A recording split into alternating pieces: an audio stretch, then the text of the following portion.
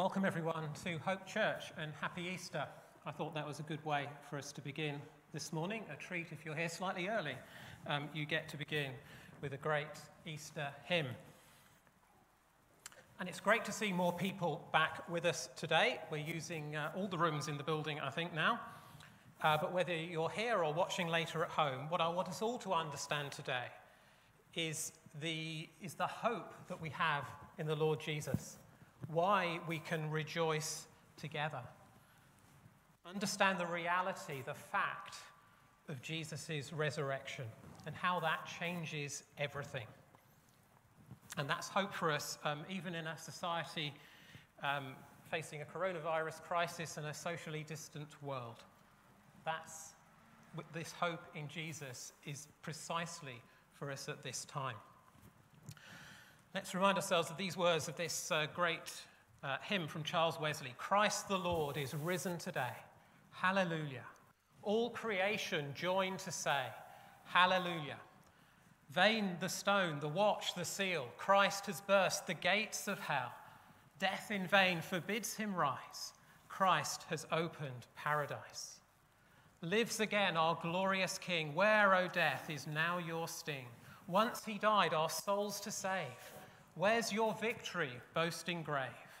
Saw we now where Christ has led, following our exalted head, made like him, like him we rise, ours the cross, the grave, the skies. Well, let's now read of the events in Jerusalem on Sunday, April the 5th, AD 33, that give rise to that hope that was written about in that hymn on the first day of the week, very early in the morning, the women took the spices they had prepared and went to the tomb. They found the stone rolled away from the tomb, but when they entered, they did not find the body of the Lord Jesus. While they were wondering about this, suddenly two men in clothes that gleamed like lightning stood beside them. In their fright, the women bowed down with their faces to the ground. But the men said to them, why do you look for the living among the dead? He is not here. He has risen.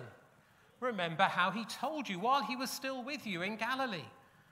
The Son of Man must be delivered into the hands of sinful men, be crucified, and on the third day be raised again. Then they remembered his words. Well, let's come to God in prayer now and ask that he would help us to remember these words, to understand what Jesus did that day. Let's pray. Our Heavenly Father, we thank you that we can come before you today rejoicing. We thank you that this uh, is the first time for some who have been able to join with us for a long time. We thank you that we can be together in this way. And we thank you that we can rejoice in what you have done. Thank you that the Lord Jesus, your Son, is alive today. We thank you that the Saviour who suffered and died to rescue sinners is alive today as our exalted head.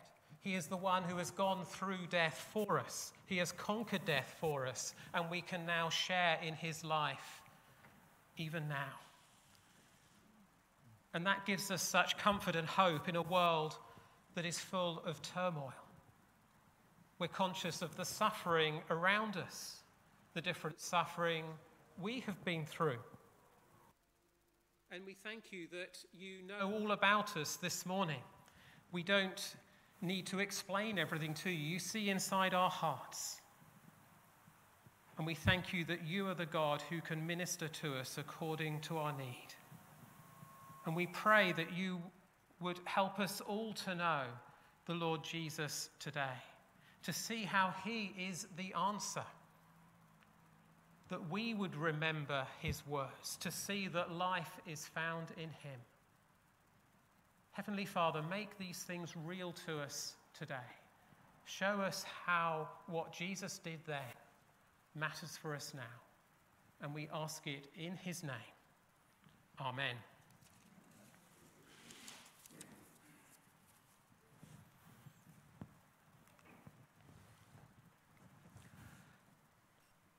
Well, many of you know I've been doing um, some different things over the last, uh, last few months uh, alongside my work for the church. And, and I was thinking, well, may, maybe it's time for me to find a totally different job. Maybe I should get a job in advertising. So I'm wondering, what do you, do you, maybe you can have a look at the, sort of my portfolio I'm going to show you. I'm going to show you some examples of some of my advertising, and you can decide whether you think this would be a good career move. So here we go. Here's, here's, here's number one. Thought I'd go into the, uh, the, the travel business. Book now day trips to Mars. And those of people from the sort of same era as me might recognize the slogan at the bottom, which I've nicked from, of course, the Mars bars back in the 1980s. A Mars a day helps you work, rest, and play. Um, so maybe a trip to Mars can do the same. What do you reckon about this? How, how, how convincing is this as, as an advert? It's good. Okay, well, thank you. I'm, I'm, i feel flattered. Do you detect a slight problem with this advert? A day? Right, yeah, it takes, I think, at least a year to get to Mars. Um, you certainly can't get there in a day and certainly can't get there and back. It's, you know, it's one thing to say, you know, a, a year-long trip to Mars. That would be pushing things a bit, actually. But a day trip, well, that's just ridiculous. Let's, uh, let's try another, another one of my adverts. Thought I'd go into the used car business, classic models at rust bottom prices. Now, you know, the, the, they're stopping production of the Ford Mondeo, so I thought, well, this is the time to get hold of a second hand one. Could be valuable in, in years to come. And um, you see, with this model, you can save on tyres, you don't have to worry about tyre wear. Um, guaranteed it won't be stolen. Um, you can be sure, sure of that. And this is a special Flintstone model. Again, people of a certain era will remember, will know what I mean by that. Um, it's where you power it yourself, um, pushing along with your legs. Um, the engine is optional. So, how, how, good is, how good is this, do you think? This is bad. Why is it bad? Sorry? The car's really old and it's broken. It's basically totally useless, isn't it? Yeah? So this is, this is rubbish, okay? The previous one was ridiculous. Well, this is just rubbish. It's of no use at all. You can dress it up in as fancy language as you like, but this is, this is of no use. So I thought, well, okay, let's try moving into the catering business. Let's get natural. Let's get back to nature with our special salad and slug side dish. Come on, we all want to be um, natural and healthy. What's the problem with this one? Or maybe you like it, I don't know. You don't like lettuce? Yeah, that's, that's, a, that's a very good one. Yeah, that's one thing that's unattractive. What's the other thing? so, so if the slug was dead, would it be all right? I think the slug is alive, actually, yeah. Um, but alive or dead, um, it's not very attractive. Um, so this is just revolting, okay? Yuck. This isn't going to be attractive. So, should I, uh, should I change jobs? Or maybe I shouldn't ask that question. You might think I should by the end of the service. But um, put it a different way should, should I go into advertising? Well, probably not. Not if this is going to be my approach. So, why am I doing all this? Well, here's my question this morning How did the church get here? I think we can all agree that, that we are here this morning along with millions of other Christians around the world meeting together. Where did the church come from? Well, what some people would like to say is that, yeah, there, there, was this person, Jesus of Nazareth, and there were some people that were close to him, and they basically beefed up all these stories about him to, to try and make out he was someone extra, extraordinary to try and get a big following. Essentially, all these people that became Christians in the, in the early, early centuries were deceived by clever advertisers. That's sort of how the story, maybe you've heard people say things like that or even thought that yourself. You know, this, okay, maybe this person Jesus, but it all just got inflated. It was all just advertised and made up. Well, I want to show you why that doesn't work. Because the sort of things that they were saying were, wouldn't be attractive. It was absolutely not the way to start a new religion. This, the sort of things they were saying were exactly not the sort of things people wanted to hear. So it wasn't they had a focus group and said, okay, what is all the things that people would like in a new religion? Okay, let's go and put that into Christianity. It was almost the exact opposite of that. Because what were the big claims that they were making? Well, the first thing they said was that Jesus is God. And that is something that, on the face of it, sounds ridiculous. You even had someone who was Jesus' brother, James, who was, became the leader of the church in Jerusalem, who was saying that his brother, Jesus, was God. Incredible claim. And if you were trying to say this to the Jewish people, they would say, but hang on a minute, there's one God, and the whole point about God is that you can't see him. You mustn't make any image of God. You can't see God. So, how can this person that walked the streets with us be God? That's crazy.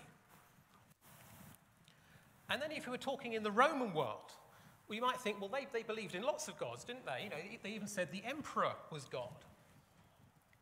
But you know, that isn't what they meant by that was very different to what the Christians were saying about Jesus. No one ever claimed that the emperor had created everything, was the absolute ruler of the whole universe. No one ever thought that about the emperor, but that is what was being claimed about Jesus. That this person that had been living among them was the person that had made the entire universe, made them, and was in control of everything. An incredible claim. Second thing that they said was that Jesus, the Messiah, was crucified. Now, the problem here was not being crucified in the sense that everyone knew Jesus had been crucified. The problem was, well, how could he then be the Messiah? Because the Messiah meant this special promised king who would come and rescue his people. And for that, you need someone strong, you need someone victorious.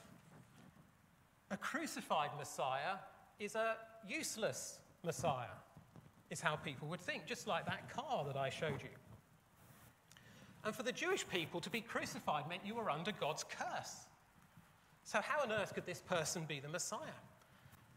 And for the Romans, to talk about crucifixion, well, people would sort of choke on their food. This was, this was not something you would mention. You know, if you talk about crucifixion at school, you got told off. This isn't something you talk about. It was something deeply humiliating because the, the Romans would put their enemies on crosses, leave them there to die, precisely to tell people, look, this is what happens to you if you try and uh, rebel against us. You're going to be you're going to be left helpless, dying on a cross. If you like, crucifixion was the ultimate proof that Rome was in charge, that Rome had won. And now you're coming along and saying, this person, Jesus, is actually the ruler of everything, who's just, who's just died on a cross. That seems like a crazy message. And don't take my word for it. Here is some graffiti. You know, graffiti is not new. This is some graffiti from the second century in Rome. And uh, on, the, on the left there is what it looked like on the, on the stone, and the, the right is a sort of redrawing of it so you can see it more clearly. And the writing with it goes like this it says, Alexamenos worshipping his God. And what's Alex Alexamenos doing? He's looking up at a figure of someone on a cross. And can you see what the head of that person is on the cross? What did you say, Liz? A horse, yeah? Any other ideas? It's a, sorry? A giraffe? It does look a bit like that, actually. Um, it's actually a donkey. So don't think there's anything new about being mocked as a Christian. People were doing this back in the second century. They were saying that basically, a savior on a cross, you might as well worship a donkey, is what they were basically trying to say with this bit of graffiti. They were mocking this as just something utterly ridiculous. So, to try and start a new religion with this message that Jesus the Messiah was crucified was not the way to do it. Okay, that, you'd be sacked if you were doing this as an advertising agency.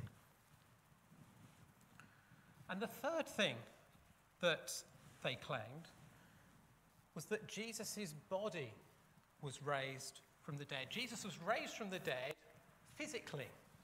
Okay, it wasn't just a sort of spiritual resurrection, but a bodily resurrection. And the reaction to this would have been a bit like the reaction to what I showed with the salad and the slug. It would have been yuck. This is something really rather distasteful. Because in that culture, the, the body was something to escape from.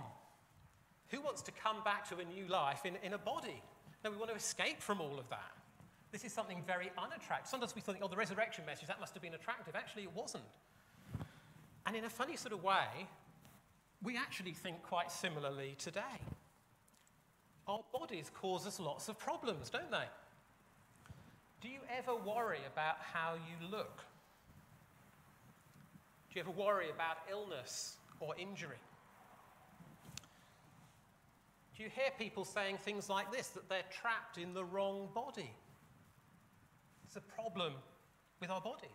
And so, actually, we're thinking like this, just like they were in those days. Aren't we almost better off without our bodies? Let's try and escape our bodies, the limitations our bodies brings. Who wants a bodily life after death?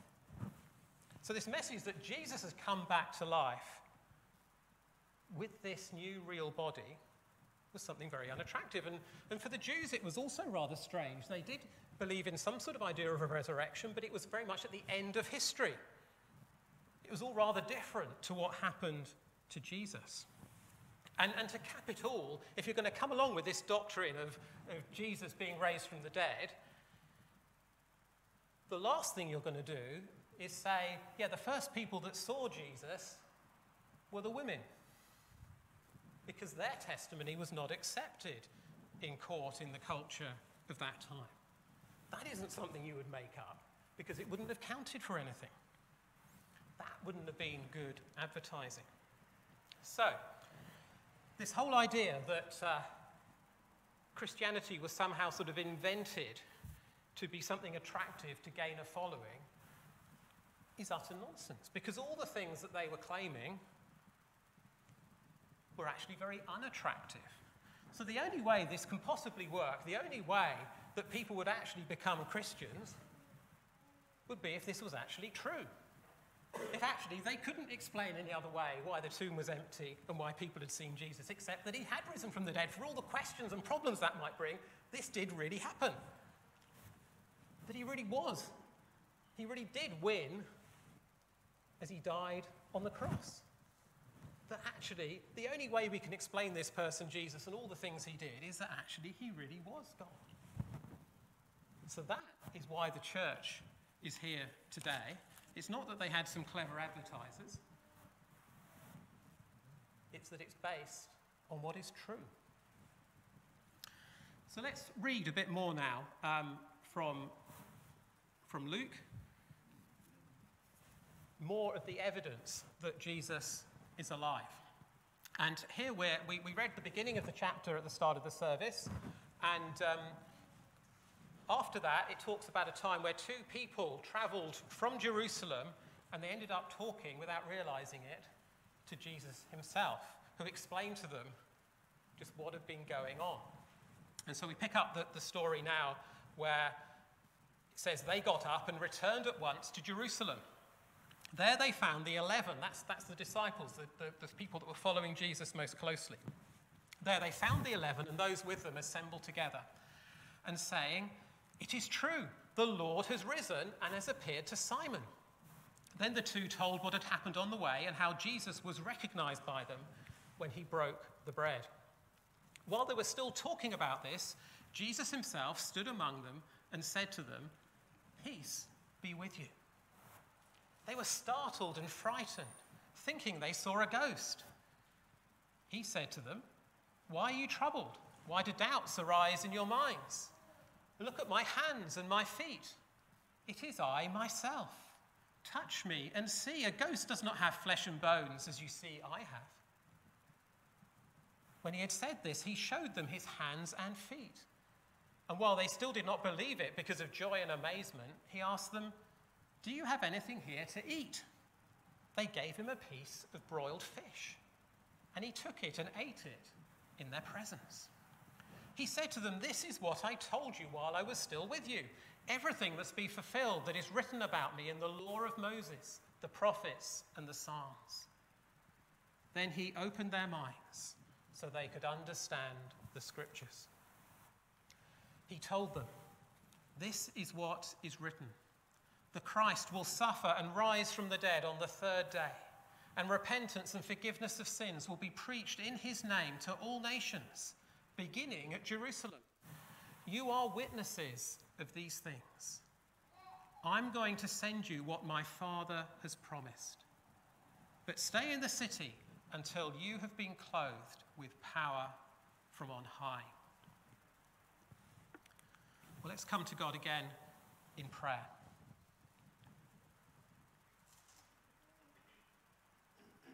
Our Heavenly Father, we thank you that we have in your word Jesus' own explanation of his life, his death, and his resurrection.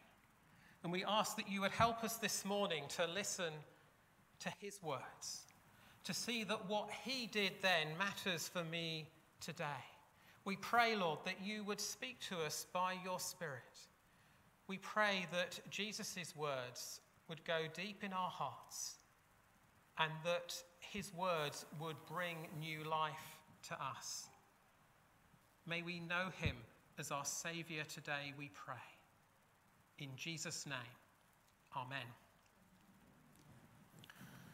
Well, before we look more at what Jesus said there to his disciples, uh, we're going to sing, um, uh, or, well, we're not, we're going to listen to a song, uh, a resurrection song, See What a Morning. And this is one of the uh, recordings um, from the church in Hayes-Lane in Bromley um, that have done for the, been done for the for the service of the churches, and we're really grateful for that. Um, we had one right at the start of the service, and uh, here we go now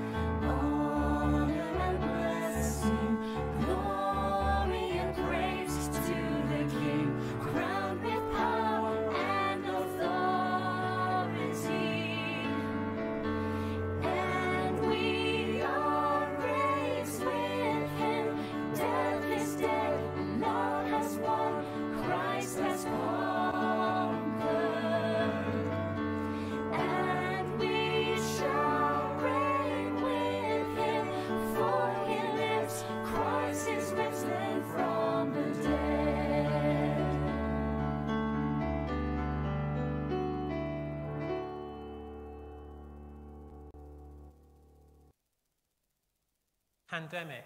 Many people are dying around the world. And for all the progress there's been, there's still a long way to go before anything like normality returns. There is still some sense of crisis. And it's not the only crisis, is there? There's a social crisis. Think of the inequality in our world, the racism, the violence against women, sexual abuse and exploitation. Think of the environmental crisis. Think of the damage being done to our planet. Think of the health crisis. Think of the needs of, in social care, in mental health, and many other things. Just think of what goes on around the world today, in this country, in other countries, the injustice, the abuse of power, the war, the terrorism, democracy on retreat in many places. We're in a world with all these sorts of problems, almost drowning in these problems, and we're spending Sunday morning talking, singing, well, okay, we can't sing, about Jesus. How on earth does that help? What possible relevance does that have? Surely this is just some sort of escapism. You know, we're in the midst of a messed up world, so we're just trying to sort of draw aside from that, forget that, and let's um, think about some happy things. What possible relevance does Jesus of Nazareth have to me today? To the problems we face, to the problems that I face? Why is Jesus relevant?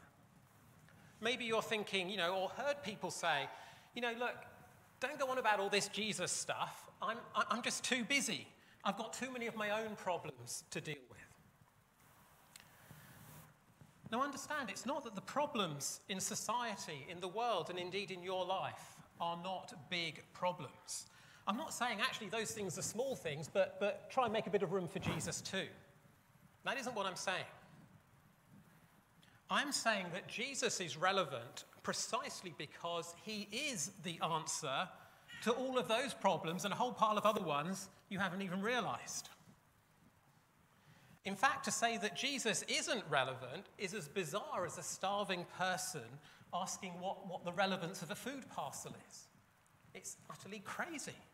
He is the most relevant person there could ever be.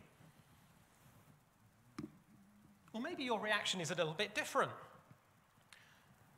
You're thinking, well, actually, I'm okay. I'm not someone in great need. And yeah, I know lots of people have suffered a lot in this crisis, but, but actually, I've, I've done all right. Um, I'm actually pretty happy.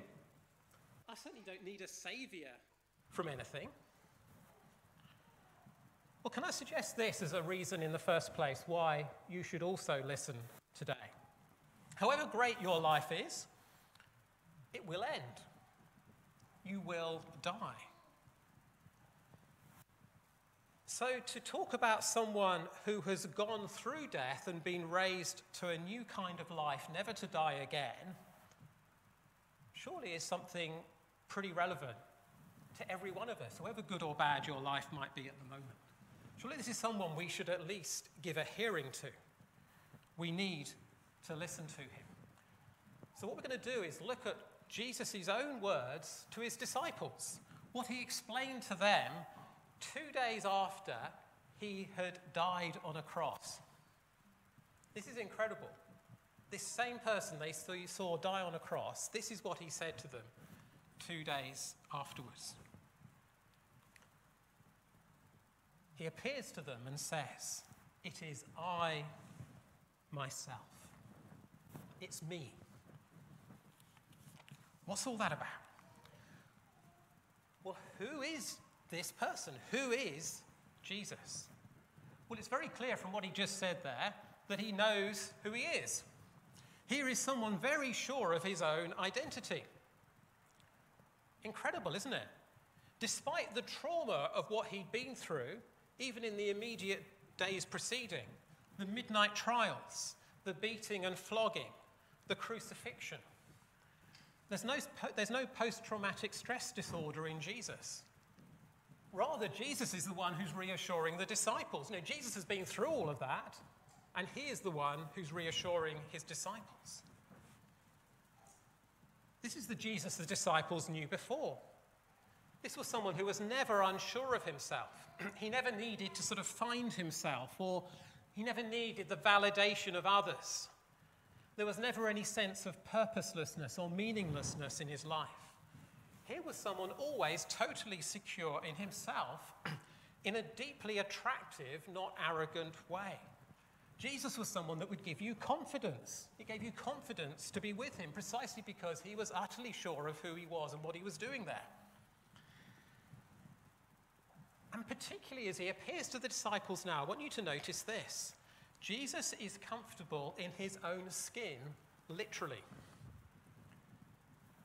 He is here in a real body. This is not some sort of spiritual resurrection. He goes to great pains to make that clear. This is not some sort of ghost they're seeing. Rather, Jesus comes along and he speaks. He's, he's rather sort of proud of his body. That is quite something. He, he doesn't say anything like, you know, I've got the wrong body, guys. No, he, he, he shows his hands and his feet. Compare that to the issue, to the issues that we have with our bodies today. Think of the amount of angst there is over body image in our world. Jesus didn't have that. Which of us could ever say we are totally happy with our bodies, totally happy with how they look and how they function? None of us. And yet Jesus is perfectly happy with his body nor is he going through some sort of trauma to decide whether to identify as male or female, with all the sort of insecurity that that brings. Jesus is quite clear who he is. There's a complete match between his person and his body. You see, maybe a risen physical Jesus has actually got rather a lot of relevance to our world. To a world where we struggle with our bodily existence. So he knows who he is. And this very clearly is the same person that the disciples had known before. He's saying, Look, it's, it's me, it's I myself, the person that you know. Now, he's been transformed in some way. It appears that his, his, he, he manages to appear in what we know from other accounts was a locked room. So there's something a bit different about his body, and yet it is the same person. So, this is the same person who experienced life in our world, who knows what life is like. He had spent over half his life in manual labor as a carpenter. He had known the insecurity of no regular income. He had a traveling ministry where he often would not know where he would be sleeping next. He had no regular home he had uh, disciples who, without being unkind, were a little bit useless, who very often didn't get it, who in many ways were not much help at all. He knew that. And in fact, he was actually betrayed by one of them, one of the people he had been closest to over his whole ministry. And then at the end of his life, he faces the injustice and corruption of those in power ganging up on him. But incredibly, though he'd been through all of that, he won. Because if the worst thing that your enemies can do is to kill you, what are they meant to do when you're resurrected, when you come back to life? What else can you do? And this power that was seen there in, in Jesus' Jesus' resurrection is something the disciples had seen already before in his whole life and ministry. They'd seen him heal people, heal blind people. He'd paralyzed people, were um, enabled to walk with a word. People with life threatening fevers were healed. Well, that's the sort of person you need, isn't it, in a virus pandemic?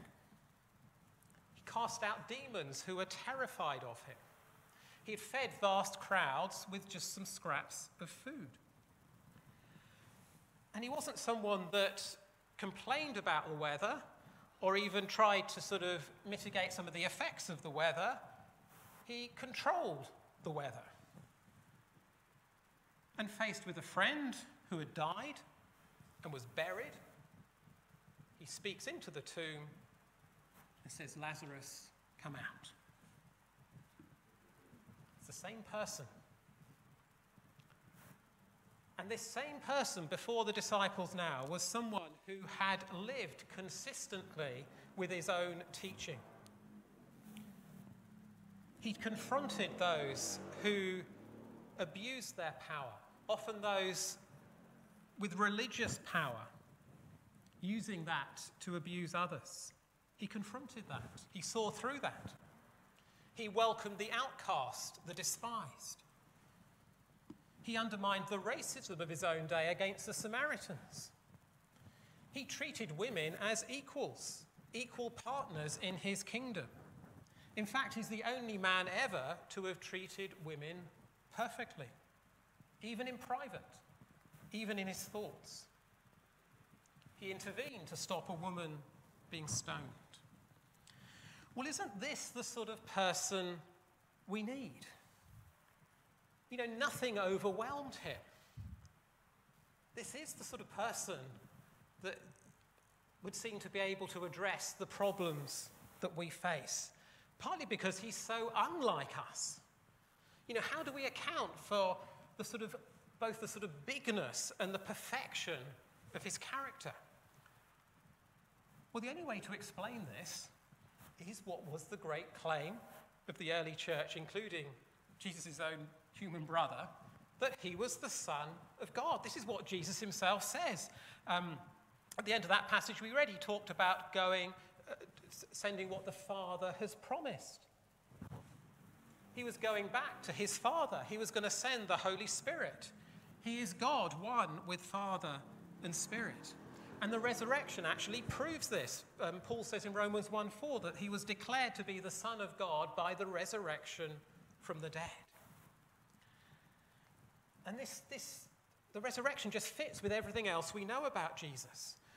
Never think of the resurrection as some sort of random, stunning miracle. This wasn't some event that happened to a random person. No, no, this, is, this was the sort of fitting climax of everything that had happened in Jesus' life. This was the, the, the person that was resurrected, was the person who had been prophesied throughout the Old Testament and that had done things only God can do in his ministry on earth.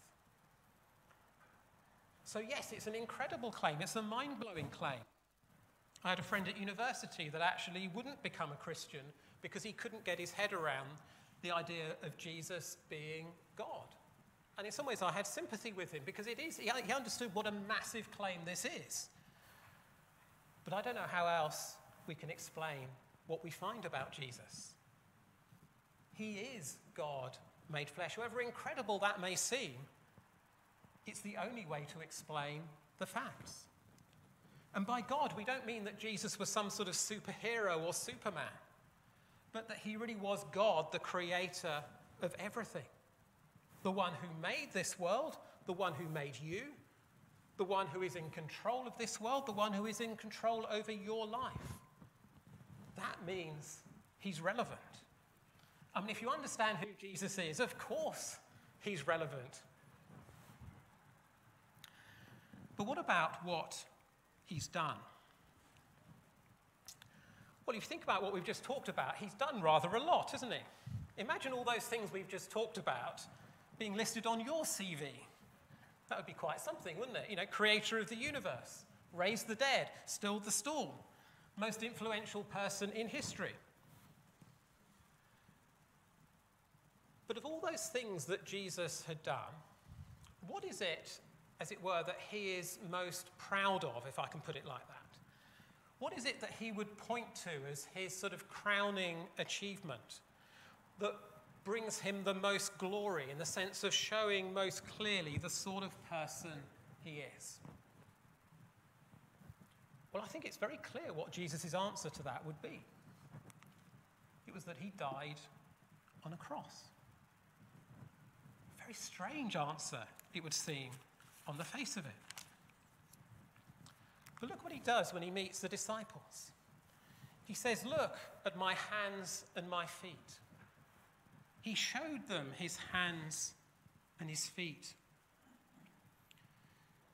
We read John's gospel, it's clear that he is referring here to the marks of his crucifixion in his hands and his feet, and indeed his side as well.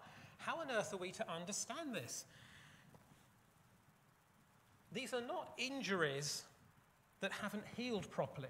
It's not that Jesus limped into the room wincing in pain, which is what you would do if this was just some natural healing process. His body was not in the same battered state as when it was taken down from the cross. This was a glorified body with no decay, no suffering. It was a body that would never die again. And yet, some, I don't know quite how to understand this, but some physical scar remains that points to his suffering on the cross. Why? When you've made everything else sort of perfect. Well, I think this is the reason. The cross was central to his identity as the Messiah, as the Savior. It was part of him, if you like. That experience was part, you could always say it had become part of him. It was central to who he was. Later in the Bible, he's depicted as a, a lamb who had been slain. This is central to who he is. It's a sort of physical evidence of the sort of Saviour that he is. But why make such a big deal about crucifixion? Well, this was a fulfillment of God's plan, the plan that God had revealed in the Old Testament. He tells them everything must be fulfilled that is written about me in the law of Moses, the prophets, and the Psalms. So the cross was not fulfilling the agenda of the Romans or the Jewish religious leaders, it was fulfilling God's agenda. Jesus was the Christ, the Messiah, the promised king who would rescue his people by suffering and dying. How different is that to our world? How do empires exercise authority and power today? It's through force, it's through violence, it's through fear. Jesus' kingdom comes by sacrifice, by laying down his life in the place of others. It gets to the heart of who God is. God is giving himself. That's what grace means. And he's giving himself for his enemies. That is the most incredible thing. That is God's plan. That is what Jesus fulfills. That is the cross that shows the sort of God that Jesus is. But what did this achieve? What was this sacrifice for? Well, it provides forgiveness. Again, look at Jesus' own explanation. He says the Christ will suffer and rise from the dead on the third day. He's clear that's what his role was as the Messiah. And then he says this and repentance and forgiveness of sins will be preached in his name to all nations, beginning at Jerusalem. Well, what's this forgiveness thing? when we say we need forgiveness, what do we need forgiveness for? We need forgiveness for things that are wrong, for things that are evil. And what Jesus identifies here as needing forgiveness is sin. And the sin Jesus, what sin means that Jesus is talking about here is the rejection of God's rule.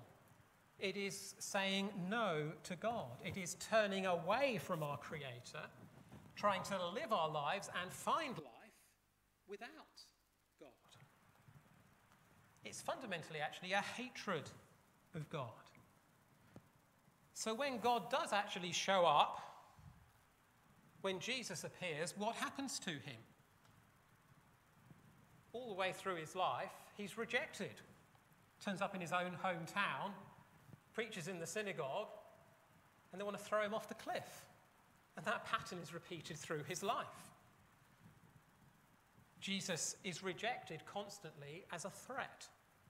That's why he's put on a cross.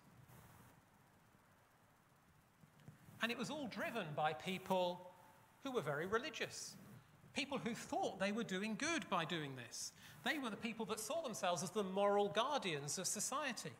They, they would have said, you know, we're on the right side of history. But before you sort of turn the finger and, and, and say, well, look how bad those people were, look at what Jesus is saying here. He is saying this message of forgiveness is to go to all nations, beginning but not ending at Jerusalem. Yes, you begin, and this is remarkable, isn't it, with those who had crucified him in Jerusalem. That's where this message of forgiveness begins, but it doesn't end there. And this is where Jesus maybe gets a little bit too relevant for us. You see, there's no racism in this message, there's no inequality. Jesus is telling us here that we're all equally sinners. We're all equally needing forgiveness. This is a universal problem. It doesn't matter where you go on the planet, it doesn't matter how civilized, uncivilized, religious, educated, or whatever else, this is a universal problem. And let's just be clear on the language. When I say a universal problem, that means it includes me, it includes you, it includes every one of us. I am a net contributor to the sum total of sin in the world. There's no sort of sin offsetting. You know, we talk about carbon offsetting today. You know, you can offset your carbon emissions. Well, I'm afraid there's no way to do that with your sin. You can't make up for your sin in some way we are all net contributors. And that's why Jesus starts with you. What you need is not fundamentally re education. What you need is not fundamentally therapy, nor do you fundamentally need sort of victim status. What Jesus says you need to do is to repent. That means to turn around. If sin is turning away from God, then repentance is about turning back to Him and trusting in Jesus as your Savior. That's where forgiveness comes from. Now, all that list of problems I began with at the start, and all the ones I didn't mention, are ultimately due to human sin that hatred of God that is sin is seen amongst us in hatred, abuse, and exploitation of people. And actually, also the planet, the rest of creation that God has put us in charge of. If we're out of step with the Creator, we end up abusing what He has given to us in the creation. And it's also a result of sin that we live in a world that is full of disaster and disease and death, yes, including deadly viruses. And this is all a problem that we can't really handle. There's no vaccine for death. These are bigger things than we can handle. And even when we think about some of the social problems, understand this we're not the first generation to say, it can't go on like this. You know, we really should do something about poverty People have been saying that for decades, for centuries, for millennia. The poor are still here. You know, people have been saying before that women should be able to walk the streets safely. They should. But nothing's changed. People have said before, you know, we really need to stop the environmental damage. That isn't a new thing. But it's still happening it seems for all that we say these things, for all that we want these things, we can't actually solve it. But think of Jesus. Jesus has a track record of someone who can do these things, who can put things right.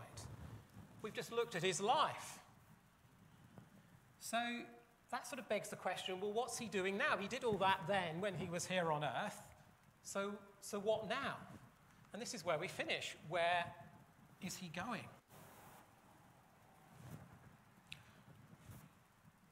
Well, I'm going to point you to something that looks very ordinary, very insignificant. He took this fish and ate it in their presence. Jesus ate some food. Well, actually, there's a massive load of teaching lying behind that. This wasn't simply proving that he had a real body. I believe he was eating to sustain that body. He was going to carry on eating because he talks about eating going on in the new world that he is going to make. Food is not some incidental thing in our life. It is actually something wonderful that God has given that the risen Jesus even enjoys. What does that say in our world today? All the issues that there are about food. Jesus ate. This was a body for the long term. And we often forget this. Jesus kept his body. It's not that he was raised to life and then said, okay, I'll leave this body now, I'll ascend to heaven spiritually. No, we, at the end of this chapter, we read about Jesus ascending to heaven in this same body. He keeps his body, he keeps this body forever because he's preparing to return. See, remember, he said this message of forgiveness needs to go out to all nations. He wants everyone to hear this. He wants, every, wants this message to go out across the world before he returns. And before he returns to earth in this same flesh, this same body. And that is when we will get the final answer to these problems that we started with. What we saw Jesus doing the, fir- the sort of first time round when he was on earth is a sort of foretaste of what he's going to complete when he returns. So when he returns, he's going to come in judgment in the first place. He's going to bring justice. There will, we want an end to evil, well, there will be an end to evil. Jesus will bring justice. And he will bring judgment wherever evil is found. There's no sort of partiality, there's no being let off, whether it's found in you, me, or anyone else. Jesus will do something about the evil in this world. Understand this hell is not empty. If we reject his offer of forgiveness, hell is the place of justice where your sin is punished. There will be justice. And that paves the way for the second thing he's going to do, which is to bring about a new creation. This is going to be a place with no sin, a place where God is at the center and people are glad of that. It's going to be a place, this is where we get it, where we will eat and drink literally with this same Jesus. You know, the disciples there ate and drank with Jesus on that day of his resurrection. Well, that is something all Jesus' disciples are going to enjoy in the new creation. We're all going to be doing that then. It's going to be a place where all the damage of sin is undone death itself is destroyed. Again, Jesus' resurrection is the sort of foretaste of that, it's the guarantee of that. And just as Jesus restored people's bodies to wholeness when he healed people, so he's going to do that for all his people's bodies and indeed the whole planet. You know, we talk about the need to save the planet. Well, ultimately, only Jesus can save the planet. He is going to remake this world and restore it. Do you see how relevant Jesus is? It is all about him. I kept having the, these words from a Christmas carol coming in my head at this point. The hopes and fears of all the years are met in Jesus Christ. He is at the center of everything. So, Jesus is relevant because he's coming back. And that means he's going to meet you. This is not some general vague thing.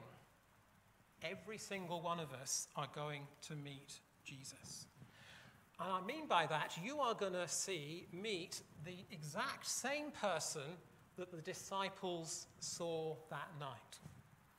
With the same body, and it won't have aged the same person who could say, It is I myself.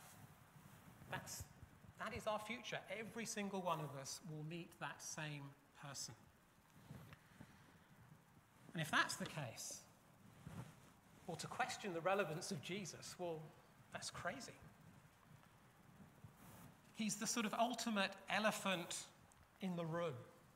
If you come across that expression, that saying, well, I, I, I thought, well, how will I explain that saying? And I thought, well, let's, let's don't often go to Wikipedia, but let's, let's just see what it says here. And I thought, this actually nails it for how we need to understand Jesus.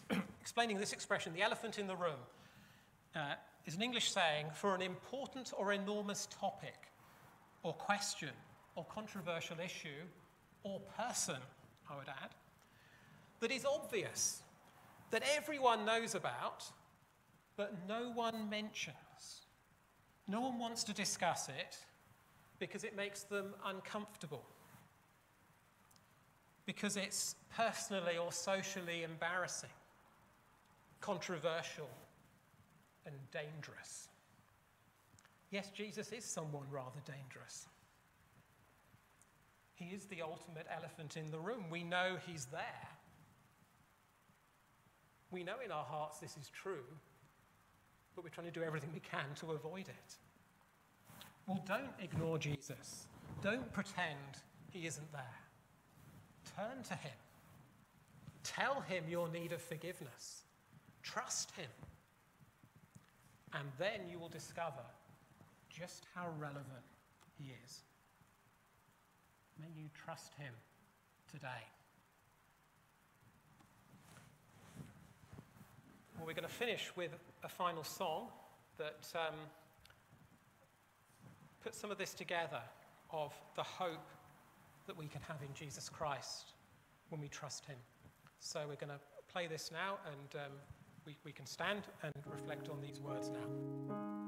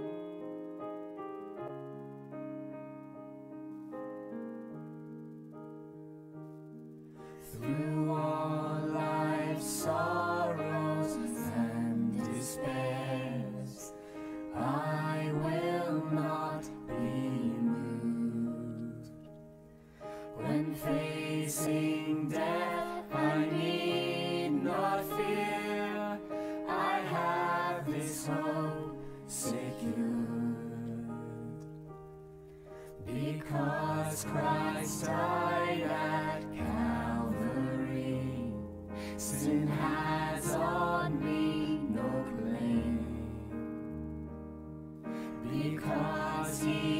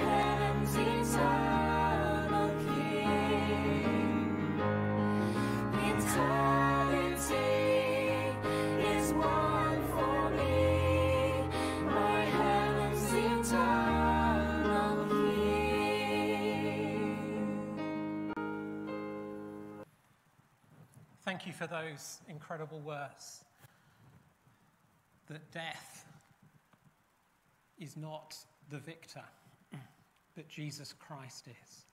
We thank you that he has conquered the greatest enemy because he has died and paid for sin, that he is exactly the Savior that we need. Our prayer is that we would bow before him that we would rejoice in his presence because we have trusted in him as our Savior. We would see the amazing hope that we can have in him and to see that he is the answer to every problem, to every trial, every sorrow. May we come to him. May we come humbly. May we come repentant. May we come confessing our sin. And may we come finding life in him. Thank you for this message. Thank you for this Savior. May we respond to this today. For we ask it in His name. Amen.